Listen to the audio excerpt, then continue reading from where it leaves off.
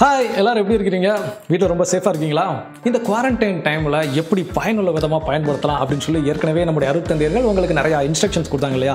அதில் ஒரு முக்கியமான இன்ஸ்ட்ரக்ஷன்ஸ் என்ன அப்படின்னா வீட்டில் இருக்கக்கூடிய பெரியவங்க உங்களுடைய பேர குழந்தைங்களுக்கு சின்ன பசங்களுக்கு உங்களுடைய மலரும் நினைவுகள் அதாவது சின்ன வயது அனுபவங்கள். குறிப்பாக நீங்கள் என்ன பண்ணிருக்கலாம்னா ஆல்ட்ரு பாய்ஸில் நீங்கள் ஆல்ட்ரு பாய் சர்வீஸ் பண்ணிருக்கலாம். இன்னும் ஏராளமான பக்த சபைகள் இருந்திருக்கலாம். இப்படி உங்களுடைய மலரும் நினைவுகள் நீங்கள் என்ன பண்ணுங்க? அவங்களோட ஷேர் பண்ணுங்கன்னு சொல்லியிருந்தோம். கண்டிப்பாக நீங்கள் என்ன பண்ணியிருப்பீங்க அதை ஷேர் பண்ணியிருப்பீங்க இப்போ அதே மாதிரி உங்களுடைய அனுபவங்களை என்ன பண்ணலாம்னா நம்முடைய மாதா தொலைக்காட்சி வழியாக உலகம் ஃபுல்லாக ஷேர் பண்ணுறதுக்கு ஒரு வாய்ப்பு. அதாவது வர்ற திங்கக்கிழமை நைட்டு எட்டு முப்பது மணிக்கு ஒரு புத்தம் புதிய நேரலை நிகழ்ச்சி. என்ன அப்படின்னு கேட்டிங்கன்னா கதைக்கெல்லாம் வாங்க.